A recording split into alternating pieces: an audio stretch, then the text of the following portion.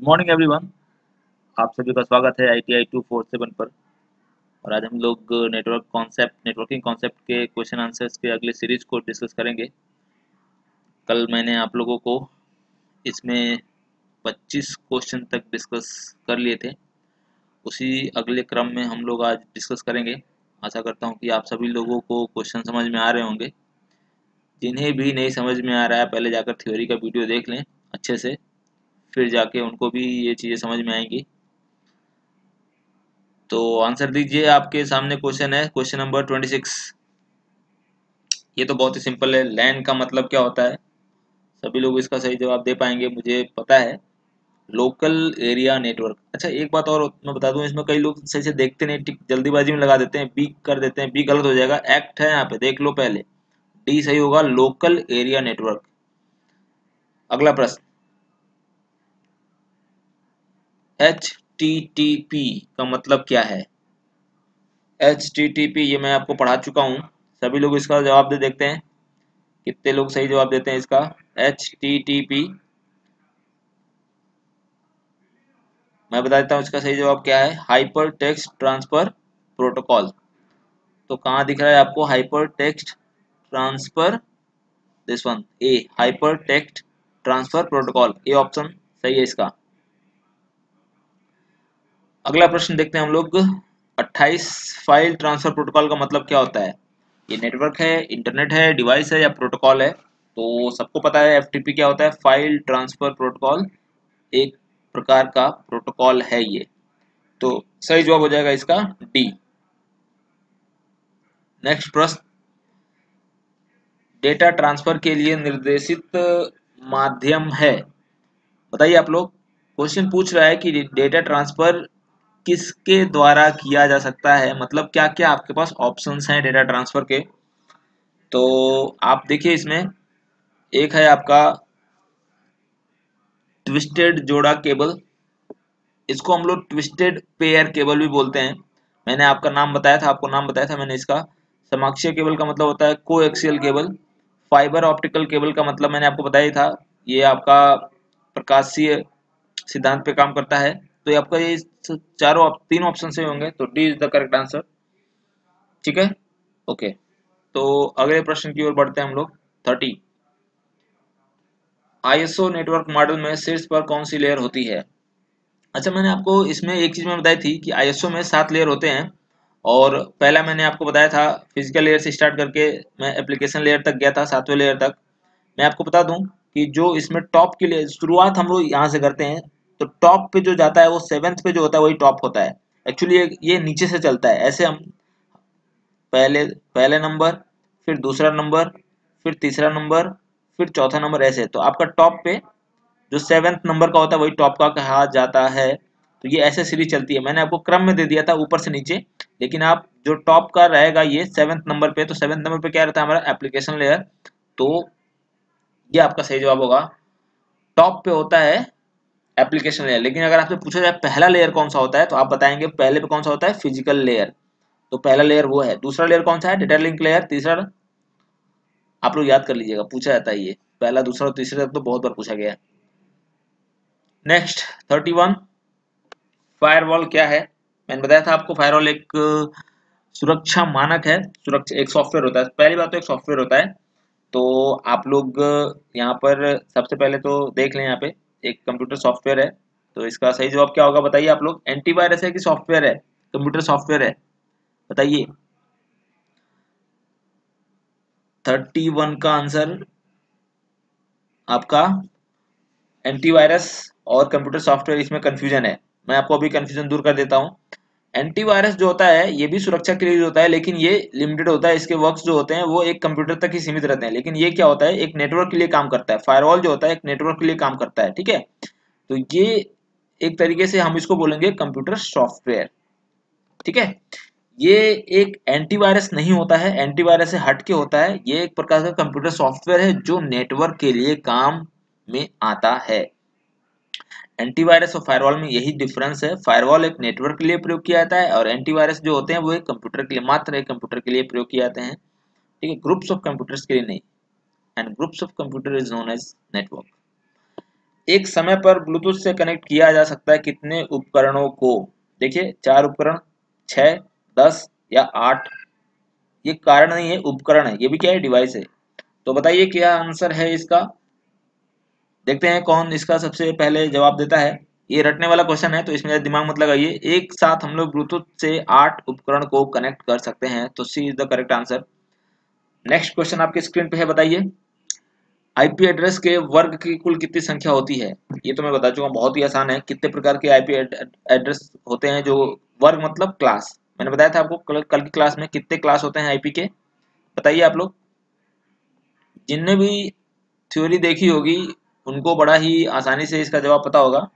सी, इसका सही जवाब है पाँच। मैंने बताया था आपको A B C D E करके पाँच क्लासेस होती हैं आईपी एड्रेस की। ठीक है? अगला प्रश्न है आपका, उच्च विश्वसनीयता वाली टोपोलॉजी है। ये तो बहुत ही आसान है। मैं कई बार बता चुका हूँ कि जो हाई रिलायबल टोपोलॉजी होती है, उच्च विश्वसनीयता की, उसको बोलते हैं हम लोग। मैं बता दे रहा हूँ आपको डी इसका सही जवाब है मैस टोपोलॉजी ठीक है? आशा करता हूँ कि आप लोग को समझ में आ रहा होगा। ये सब क्वेश्चंस ऐसे हैं जो मेरे डायरेक्ट थ्योरी के सिलेबस जो मैंने थ्योरी पढ़ाई है उससे है तो जाकर आप वीडियो ज़रूर देखें। एक उपकरण जो एक नेटवर्क से दूसरे नेटवर्क में डेटा पैकेट को अग्रेसित करता है, कहा जाता है। जब भी दो अलग अलग नेटवर्क की बात आएगी, वहाँ पे राउटर की बात आएगी। राउटर इसमें ऑप्शन में है ही नहीं। फिर क्या लगाएँ? भाई देखो राउटर तो है नहीं। सारे ऑप्शन गलत हैं। ठीक है? लेकिन, यहाँ पर मैं एक बात बता दूँ, अगर ऑप्शन में राउटर होता है तो सबसे पहले हम लोग राउटर प्लेट लगाते हैं। लेकिन अगर राउटर नहीं है तो सेकंड नंबर पे हम देखेंगे स्विच तो अगर यहाँ पे स्विच है तो स्विच को लगा दो भाई, छोड़ के मत आना, ठीक है? सबसे पहले दो अलग अलग नेटवर्क की बात की जाएगी तो वहाँ पे स्विच की बात राउटर की बात देखना। राउटर अगर नहीं है तो सेकंड नंबर पे स्विच लगा के चले आना। स्विच भी एक कनेक्टर की तरह काम करता है। दो लाइन को आपस में जोड़ देता है स्विच तो एक तरीके से दो अलग अलग नेटवर्क के लिए, लेकिन दो डिफरेंट नेटवर्क के लिए हम लोग राउटर का ही प्रयोग करते हैं। दो मैन को अगर जोड़ना हो तो राउटर को प्रयोग करेंगे हम लोग। वहाँ स्विच काम नहीं आएगा। ठीक है? Thirty six bridge OSI layer के किस लेयर पे कार्य करता है? बताइए आप लोग इसका जवाब। ये तो मेरे डायरेक्ट थ्योरी का क्वेश्चन है तो इसमें कोई गलती नहीं करेगा। डाटा लिंक लेयर मैं बता दूँ आपको। और डाटा लिंक लेयर आपका दूसरा लेयर है तो आपका ब्रिज जो होता है, ओएसआई के दूसरे लेयर पे कार्य करता है। ठीक है? नेक्स्ट क्वेश्चन देखते हैं हम लोग। एफ़ टी पी एक्रोनिम इसके लिए मतलब एक्रोनिम पूछ रहा है कि एफ़ टी पी का पूरा नाम क्या है? ठीक है? एफ़ टी पी का पूरा नाम क्या है? File transfer protocol file transfer protocol तो देखिए कौन सा ऑप्शन इसमें दिख रहा है आपको? बी आपका सही जवाब है फ़ाइल ट्रांसफ़र प्रोटोकॉल ठीक है? नेक्स्ट क्वेश्चन देख लीजिए आप लोग. प्राइवेट नेटवर्क को बाहरी अटैक से सुरक्षित करने का तंत्र है। देखिए मैंने अभी आपको बताया कि जो भी हमारा प्राइवेट नेटवर्क होता है, अगर उसको हमें सेफ़ रखना है तो उसके लिए हमें फायरवॉल की ज़रूरत पड़ती है तो ए इसका सही जवाब होगा। रट लीजिए आप लोग एंटीवायरस सिर्फ़ एकमात्र कंप्यूटर के लिए, या छोटे मोटे सर्वर के लिए यूज़ किया जाता है, लेकिन फायरवॉल जो होता है प्राइवेट सर्वर के लिए यूज़ होता है, बहुत सारी कंपनियाँ इसका प्रयोग करती हैं। अगला प्रश्न। एक नेटवर्क जिसे सिग्नलों को भौतिक रूप से रूट करने के लिए मनुष्यों की आवश्यकता होती है, कहलाता है। देखिए, इसमें आप लोग थोड़ा सा आप लोग को थोड़ा सा ये अलग क्वेश्चन लग रहा होगा, लेकिन अगर किसी को पता है तो इसका आंसर बताइए, नहीं तो मैं आपको बता देता हूँ। ये रटने रटने वाला क्वेश्चन है। ऐसा नेटवर्क जहाँ पे किसी इंसान की ज़रूरत पड़ती हो मैनुअली उसको ट्रांसमिट करने के लिए तो उसको हम लोग बोलते हैं टी स्विच नेटवर्क ठीक है? टी स्विच जहाँ पे एक आदमी की ज़रूरत पड़े तो उसको हम लोग बोलते हैं टी स्विच नेटवर्क ठीक है? तो इसमें जो डेटा ट्रांसफ़र होता है, वो मैनुअली करना पड़ता है तो उसको हम लोग बोलते हैं टी स्विच नेटवर्क ठीक? तो सी इसका सही जवाब होगा। अगला प्रश्न। टीसीपी आईपी लेयर तीन सतहों में ओएसआई मॉडल के अनुरूप होता है। टीसीपी आईपी तीन सतहों में। एक्चुअली देखिए, जैसे ओएसआई के कितने लेयर होते हैं? सात लेयर होते हैं। ठीक है? ओएसआई के सात लेयर होते हैं और टीसीपी आईपी जो होता है, हमारा प्रोटोकॉल जो होता है, इसका भी एक रेफरेंस मॉडल प्रस्तुत किया गया था। पता नहीं इसमें ये क्वेश्चन कैसे बनाया है इन्होंने। टीसीपी आईपी लेयर तीन सतों में ओएसआई मॉडल के अनुरूप होता है। एप्लीकेशन प्रेजेंटेशन सेशन ट्रांसपोर्ट ठीक है? मुझे लग रहा है कि इसमें कुछ क्वेश्चन में गलती है। मुझे ऐसा प्रतीत हो रहा है कि यहाँ पे कोई एक फिलिंग द ब्लैंक ज़रूर होगा। ठीक है? यहाँ पे फिलिंग द ब्लैंक होगा। TCP IP application layer TCP IP का जो एप्लीकेशन लेयर होता है, का और फिलिंग द ब्लैंक होगा यहाँ पे। टीसीपी आईपी का filling the blank application layer तीन सतहों में ओएसआई मॉडल के अनुरूप होता है। ठीक है? तो आप ये समझ दीजिए कि इसके जो तीन, आपके जो लेयर होते हैं और टीसीपी आईपी का जो एक लेयर होता है एप्लीकेशन वो इनके तीन के बराबर होता है। तो यही ये आई थिंक कहना चाहता है। एक्चुअली ये आप टेंशन मत लो। आपके सिलेबस में उतना टीसीपी आईपी का रेफरेंस मॉडल नहीं है तो आप इस क्वेश्चन को स्किप भी कर सकते हो। इतना हेडक मत लो, ठीक है? अगला प्रश्न देख लेते हैं हम लोग। कौन सा ट्रांसपोर्ट लेयर प्रोटोकॉल कनेक्शन विहीन होता है? ट्रांसपोर्ट लेयर पे जो प्रोटोकॉल काम करते हैं, मैं बता दूँ, ये सारे जो ये ये लेयर ये टीसीपी हो गया एफटीपी हो गया यूडीपी हो गया, ठीक है? और इसका जो फुल फॉर्म होता है यूज़र डाटाग्राम प्रोटोकॉल होता है, ठीक है? ये सारे जो होते हैं ट्रांसपोर्ट लेयर पर काम करते हैं, और इनमें सब में तीनों में क्या होती है कनेक्शन की आवश्यकता पड़ती है। ये एक ऐसा आपका प्रोटोकॉल है एनवीटी जिसको हम लोग बोलते हैं नेटवर्क वर्चुअल टर्मिनल ठीक है? इसमें आपका कनेक्शन की ज़रूरत नहीं पड़ती है, ठीक है? तो इसका सही जवाब होगा डी ठीक है? और अगला प्रश्न देख लेते हैं हम लोग। O S I network architecture में इसके द्वारा राउटिंग की जाती है। तो आपको पता है राउटिंग किससे की जाती है? राउटर से। राउटर किस पे काम करता है? नेटवर्क लेयर पे। तो आपका सही जवाब क्या होगा? ए ये लिए नहीं है लेयर है। ठीक है?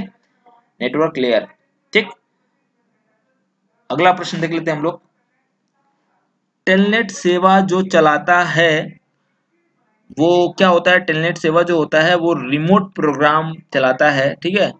तो थोड़ा सा आपका जो रिमोट प्रोग्राम है आपका ये उसको बी ऑप्शन इसका सही है। टेलनेट सेवा जो चलाता है, वो रिमोट प्रोग्राम होता है। ठीक है? अगला प्रश्न देख लेते हैं हम लोग। एक ऐसा डिस्ट्रीब्यूटेड नेटवर्क कॉन्फ़िगरेशन जिसमें सारी डेटा जानकारी एक केंद्रीय कंप्यूटर के द्वारा जाती है। ठीक है? देखिए, जो भी आपका एक जो केंद्रीय कंप्यूटर जहाँ भी बात आती है तो वहाँ पे आपका जो मैंने बताया था, आपका स्टार्ट नेटवर्क जो होता है, वहाँ पे केंद्र में कंप्यूटर होता है और चारों तरफ़ क्या होते हैं आपके? नोट्स लगे होते हैं, ठीक है? तो उसी को बोलते हैं हम लोग स्टार नेटवर्क। तो इसका सी जवाब सही होगा, ठीक? नेक्स्ट ओएसआई मॉडल की कौन सी सतह को पहले एक्सेस करना आवश्यक है? तो ये मैंने आपको बता दिया, जो पहले जो एक्सेस होता है आपका ओएसआई लेयर बताइए आप लोग, अभी मैंने जस्ट बताया है, आपको इसका क्वेश्चन एक आ चुका है। तो आशा करता हूँ कि आप लोग इसका जवाब बताओगे। और मैंने आपको भी बताया कि जो इसका जो सबसे पहले ऊपर का जो होता है, उसी को एक्सेस किया जाता है, वो है आपका एप्लीकेशन लेयर, ठीक है? तो इसका बी जवाब सही होगा। मॉड्यूलेशन और डी डीमॉड्यूलेशन निम्न में से किसमें आता है? अब बताइए किसमें आता है ये? तो ये तो बहुत ही आसान है। डी इसका सही जवाब है मॉडम, ठीक है? मॉडम इसका सही जवाब है। अगला प्रश्न, सॉफ्टवेयर जो यूज़र्स को वेब पेज देखने की अनुमति देता है, उसे कहते हैं। देखिए, जिससे भी हम लोग वेब पेज देखते हैं, वेबसाइट चलाते हैं तो उसके लिए हमें एक सॉफ्टवेयर की ज़रूरत पड़ती है। उसी को बोलते हैं हम लोग ब्राउज़र, ठीक है? तो उसको ब्राउज़र बोला जाता है। तो उसको बोलते हैं हम लोग इंटरनेट ब्राउज़र तो इसका ए ऑप्शन सही है, ठीक है? अगला प्रश्न जब भी कॉलर वेबसाइट को कॉल करता है। कॉलर मतलब जो वेबसाइट वेबसाइट को कॉल करता है तो जिस पेज पर कोई भी लिंक नहीं होती, उसे क्या कहा जाता है? Home page absolute page dead end page doorway page doorway page देखिए, ये क्वेश्चन थोड़ा हटके है तो आप ज़्यादा उसमें ना हो, लेकिन फिर भी मैं आंसर बता दे रहा हूँ आपको, ठीक है? ऐसे क्वेश्चन बहुत ज़्यादा पूछे नहीं जाते हैं। ठीक है, जब भी कॉलर इसमें कहा जा रहा है कि जो कोई वेबसाइट को अगर हम लोग हिट करते हैं कॉल करते हैं तो जिसपे कोई लिंक नहीं होता, उसको हम लोग डेड एंड पेज कहते हैं, ठीक है? होम पेज जो, जैसे कोई आप यूआरएल क्लिक करते हैं वेबसाइट चलाते हैं तो जो पहले पेज आपको दिखता है, उसको होम पेज कहते हैं। डूअर वे पेज क्या होता है, ये थोड़ा टेक्निकल चीज़ हो गई। डूअर वे पेज जो होता है कि आपको अपनी वेबसाइट अगर ऊपर रैंक में लानी है तो उसके लिए इस पेज का निर्माण किया जाता है तो ये दिस इज़ टोटली डिफरेंट तो इसका आंसर जो होगा डेड एंड पेज होगा, यहाँ पे कोई लिंक नहीं होता है ऐसे पेज पे, ठीक है? तो आप लोग इसको याद कर सकते हैं वैसे ही, हालाँकि ये थोड़ा टफ क्वेश्चन है। अगला प्रश्न long haul network long haul जो नेटवर्क है उसको कहा जाता है। अब देखिए लॉन्ग से आपको याद रखना है कि लॉन्ग हॉल नेटवर्क से कहते हैं, जिनका जिनका डिस्टेंस बहुत ज़्यादा होता है। और जो ज़्यादा डिस्टेंस होते हैं, उनको क्या बोलते हैं हम लोग वैन कहते हैं। तो इसका सी जवाब सही होगा। ऐसे भी याद किया करिए आप लोग, ठीक है? अगला प्रश्न निकेट क्या है, निकेट, निकनेट निकनेट निकनेट क्या है। ये निकनेट जो है आपका, ये एनआईसी एक हमारी भारत में जितने भी सरकारी वेबसाइटें हैं, ज़िले के, राज्य के, सब ये एनआईसी निर्माण करती है नेशनल इंफॉर्मेटिक्स सेंटर ठीक है? और जो ये निकनेट है, इसी को बोलते हैं हम लोग नेशनल इसका पूरा नाम है नेशनल इंफॉर्मेटिक्स सेंटर नेटवर्क ठीक है? तो इसका काम क्या है? ये भारत के प्रत्येक जिलों को नेटवर्क जोड़ने वाला नेटवर्क है। तो इसका डी जवाब मेरे अनुसार से होना चाहिए, ठीक है? कोई अंतर्राष्ट्रीय नेटवर्क नहीं है, विदेशों में नहीं है, सिर्फ़ भारत में यूज़ होता है, ठीक है? विशेष तार का पुनः जाल, ये भी उपयुक्त नहीं लग रहा है मुझे। इंटरनेट का दूसरा नाम ये तो बिल्कुल भी नहीं है, ठीक है? ये ये जाल तो है कई मतलब नेटवर्कों का, लेकिन इसका विशेष तार यहाँ पे कोई उपयुक्त नहीं है। तो इसका सबसे उपयुक्त जो आंसर है, भारत के प्रत्येक जिलों को जोड़ने वाला नेटवर्क हर ज़िले में जो भी वेबसाइट है, जिलाधिकारी जो वेबसाइट बनवाते हैं तो वो एनआईसी से ही बनवाते हैं, ठीक है? तो इसका सही जवाब डी होगा। नेक्स्ट प्रश्न आर्पनेट ये तो मैंने आपको बता दिया आर्पनेट क्या आता है? विश्व का पहला क्या है? इंटरनेट है। और इंटरनेट जहाँ बात आएगी, वहाँ पे किसकी बात करेंगे हम लोग? वैन की, ठीक है? एशिया का पहला वैन ये तो बिल्कुल ही गलत है। भारत का पहला वैन बिल्कुल ही गलत है। विश्व का पहला लैन अब देखिए, इसी में कंफ्यूजन है। विश्व का, ये विश्व नहीं है, विश्व है। थोड़ा टाइपिंग एरर है, कोई बात नहीं। विश्व का पहला वैन और विश्व का पहला लैन तो आपको बता दूँ आर्पनेट क्या था? इंटरनेट था। When we talk about internet तो वो क्या होता है? इंटरनेट की जब हम बात करते हैं तो वो क्या होता है? वो वैन ही होता है। ठीक है? तो आपका पहला जवाब यहाँ पे सही होगा ए तो आशा करता हूँ कि आप लोगों को ये मेरा सीरीज़ बहुत पसंद आया होगा और आपको चीज़ें समझ में आई होंगी। अगर आपको नहीं समझ में आई हैं तो आप मुझे मैसेज या ईमेल कर सकते हैं। यथासंभव मैं आपको रिप्लाई करूँगा। ठीक है? और अगर आपको मेरा वीडियो अच्छा लगे तो आप चैनल को सब्सक्राइब कर दें। बेल आइकन को भी क्लिक कर दें। तो और ये प्लेलिस्ट प्लेलिस्ट देखते रहा करें। मिलते हैं कल एक नए वीडियो के साथ। Thank you so much